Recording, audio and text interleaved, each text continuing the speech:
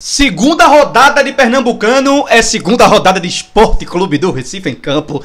Rimou, né? Pois é, hoje tem valendo liderança, valendo tudo o que é importante. A greia, porque ó, eu vou dizer, perder pro retrô, meu amigo, tem que, tem que aguentar Laércio, viu? Agora, vencer o retrô, eu acho que o esporte não faz mais que sua obrigação. Primeira folha mais cara do Pernambucano contra a segunda folha mais cara do Pernambucano se enfrentam esporte em primeiro e segundo o Retrô, no quanto gastaram na folha de time e o Retrô, que tem Pernambucano e Série D, o Sport que tem.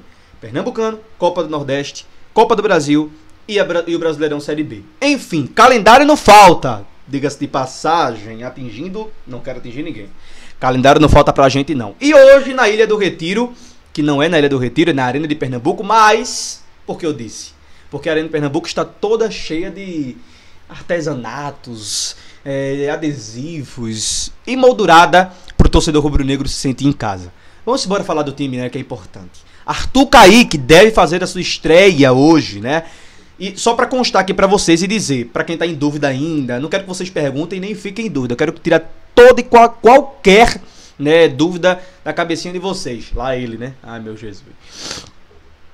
Todos os jogadores que o esporte contratou, todos os jogadores que o esporte anunciou, Todos os jogadores que o Sport renovou estão regularizados. Então hoje os que faltavam era Felipe, Riquelme, Arthur Caíque e o Pedro Vilhena. Esses quatro vão para o jogo. Até então estão aptos para estar no jogo de hoje à noite contra o Retro às 19 horas. Gustavo Coutinho também foi regularizado ontem e está apto, aptíssimo para estar hoje, pelo menos no banco ali, começar e entrar e fazer o gol da vitória. Pronto, já quero isso aí, viu, Coutinho? Pronto, está, já, se vira aí e faz logo esse gol. Enfim, gente, todo mundo regularizado, todo mundo pronto para jogar, todo mundo já com, com botando meião para começar a correr nesse sol na Arena de Pernambuco, porque estão, obviamente, agoniados para jogar. O Esporte Clube do Recife vai enfrentar uma equipe muito difícil, uma equipe que vem de quatro. Levou quatro o retrô, pô.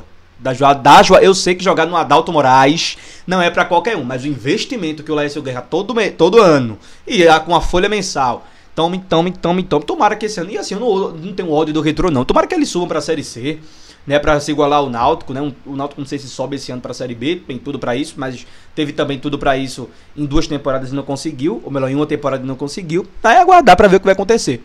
Mas o Esporte Clube do Recife tem a obrigação. E a obrigação, gente, não é nem. Ah, porque tem que ganhar por causa da greia, não, para ela é essa. Eu quero retar. Eu joguei no retro porque eu quero retar o time da Unibra. Não é isso. É porque o Pernambucano, ele não dá dinheiro, mas ele torna-se importante porque vale uma vaguinha pra Copa do Brasil, queridão. É pelo Pernambucano, não é pro ranking mais. Antigamente era pro ranking, né? O Sport ficava, o Sport podia ser rebaixado pra Série A2, mas ia pra Copa do Brasil porque o ranking estava lá. Esse ano, ou pelo menos da temporada passada para essa, já não tem mais isso. É pelo Campeonato Pernambucano, o finalista, o semifinalista e o terceiro mais bem colocado vão para a Copa do Brasil 2025. O esporte já está garantido, né? Obviamente. Vai disputar a primeira fase esse ano. Aí é o medo de todo rubro-negro, né? Sair para um. um Popa Nepolense. Um time aí ninguém nunca viu. De Pajé, aí o esporte vai lá e um golzinho, um golzinho de índio, né? Para fazer a, a contextualização. É assim. A, a gente que é torcedor do esporte, quando a gente vai pra primeira fase da Copa do Brasil, a gente já fica assim mesmo. Aí, né, baixa a mão, depois.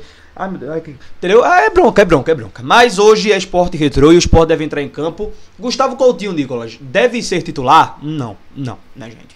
O Arthur Kaique deve ser titular. Qual é a escalação que o Mariano Souza vai entrar? Com os três zagueiros?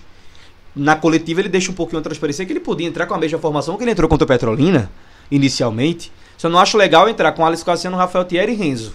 Quer entrar hoje? Hoje é um jogo mais potente, hoje é um jogo que tem mais perigo do esporte levar gols, tem mais perigo do esporte ser contra-atacado, tem mais perigos do esporte ser um pouco dominado. É começo de temporada e é começo de trabalho de Mariano Souza. É um campo neutro, apesar de ser mando de campo do esporte. Então, eu entraria com a minha força máxima. Eu acho que Mariano Souza tem que fazer isso, porque o jogo de hoje não pede brincadeira. E você imagina sair atrás para um time novo, um time que está se moldando ainda como esporte, né? Começou os treinamentos mesmo de três semanas para cá. Então a gente não sabe como é que tá né, o, o, o, a, o entrosamento total. O segundo tempo do jogo contra a Petrolina melhoraram e melhoraram bastante. A gente sabe, né? Porque ele tira os, tira os dois zagueiros, coloca Castan com o Thierry.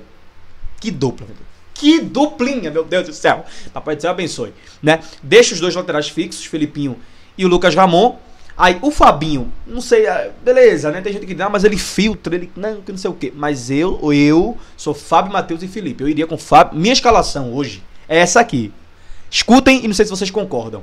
Kaique França, tá? Kaique França. Se ele quisesse entrar com três zagueiros, ele poderia ir com Alisson Cassiano, Rafael Thierry e Castan. É, os dois alas, Felipinho e Lucas Ramon, beleza? Felipe e Fábio Matheus, Alan Ruiz. Na frente, eu iria, deixava ali Romarinho e Zé Roberto. Ou Romarinho e Arthur Kaique.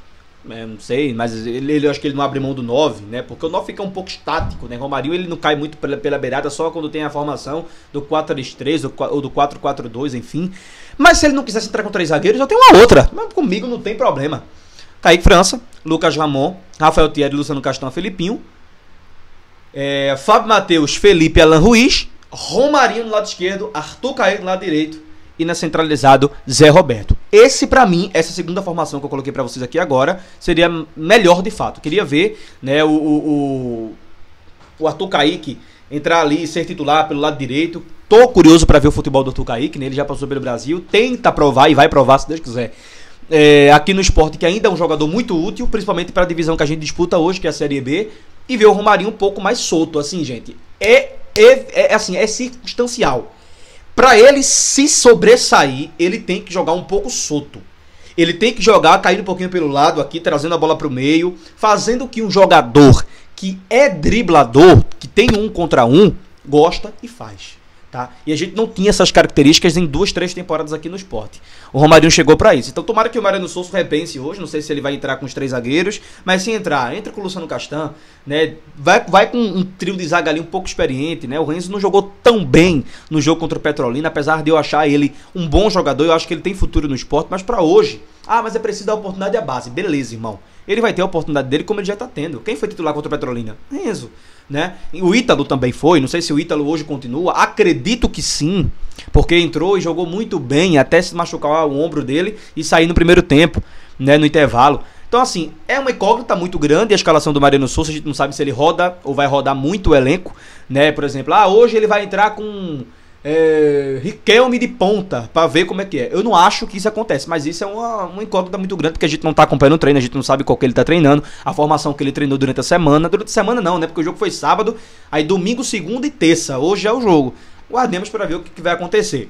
Enfim, é, é aguardar, né? Eu não tenho muito o que falar. Só sei que o Arthur Kaique, hoje a página Caixa Preta Esporte Recife, diz que ele fará sua estreia, então pode ser titular hoje. Se ele entrar com esse 4-3-3, que ele volta, volta no segundo tempo, aí sim ele pode entrar ali com o Arthur Kaique, Zé Roberto e Romarinho. O trio de ataque hoje pode ser esse. A gente aguarda para ver o que vai acontecer. Lembrando, transmissão hoje no canal Gote, tá? O canal Gote vai transmitir aqui no YouTube também para todo torcedor rubro-negro. Vamos aguardar, né? A gente aguarda para ver o que, que vai acontecer. Tomara que o esporte vença hoje, mas daqui a pouquinho a gente volta com mais notícias, com mais informações e as contratações. Chega mais não, é? Igor Caril já esteve no CT ontem, tá? Só para colocar para vocês mesmos, só para const, const, constatar, né? E vamos ver. Aécio! E hoje, hein? Vai estar tá lá na arena. E agora o baixo público, né? O esporte nem soltou uma parcialzinha assim. Eu acho que o público foi muito baixo. Também, irmão. Sábado tem esporte Santa Cruz. E se o esporte vencer hoje. Hum, eu, eu não me surpreenderia se chegasse perto dos 40 mil sábado às 16h30 na Arena de Pernambuco para o Esporte Santa Cruz. Primeiro grande clássico, porque para mim o Santa Cruz pode estar sem divisão. Mas clássico contra o Santa Cruz é sempre melhor e mais justo por causa da greia, por causa de toda uma história, né? Pode, até, pode, ser, pode ser que isso até caia, né? É, no decorrer do tempo, mas eu gosto. Por bem esse negócio que eu gosto, é isso. Cheiro no coração, daqui a pouco eu volto. Mais informações, mais tudo aqui no nosso canal. Deixa o like.